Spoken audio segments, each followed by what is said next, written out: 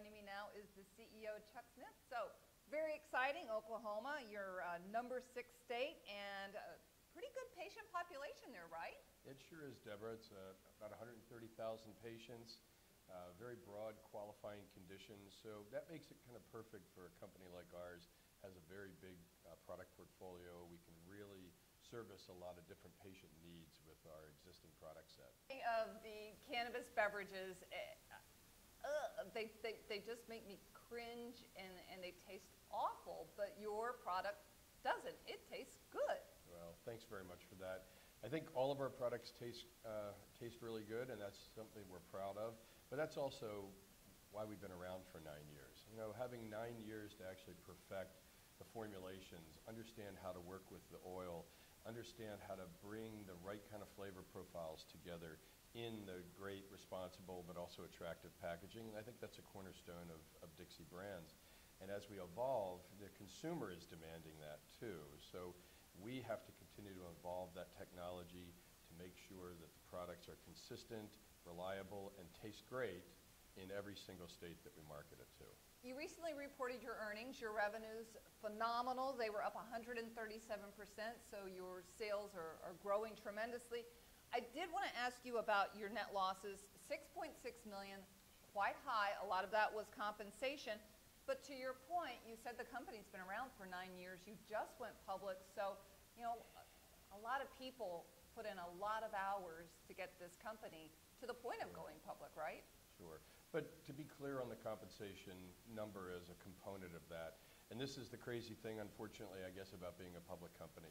When we issue stock options to our employees, we actually have to capture the expense of those options. It doesn't mean that the employees are out now driving Ferraris because they're locked up for, for a three-year vesting schedule, but the company has to, to actually book that loss associated with those options that we gave. So that's really a non-cash uh, expense, but it's an expense nonetheless that we're going to do because we want to incent our employees through options to make them part of the company and, and owners and you know rowing the boat in the same direction that we all are uh, towards success. Beverages.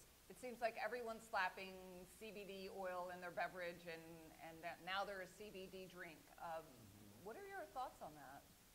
We've been in the CBD business for three years ourselves. However, our focus has been on dietary supplement formatted products, uh, both for humans, Aceso hemp, and in that case, we have uh, a couple different types of product formats, including an effervescent powder, which is kind of like an Emergen-C if you've ever had one of those. Love Emergen-C. Uh, it's a great product, indication specific, uh, high efficacy.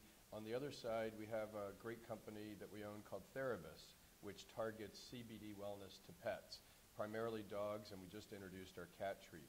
We're very comfortable with these products because we've built them, Deborah, against FDA supplement standards, even though the FDA, as of today, doesn't allow CBD in food and hasn't made a ruling on supplements, we've built them from day one against that stringent level of standards. Now, we don't have a CBD water yet, and frankly, the FDA is not giving us much comfort that they're going to allow mass market distribution of CBD in water and food.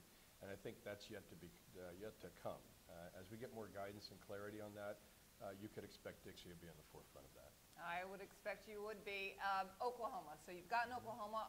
Is your goal more state expansion?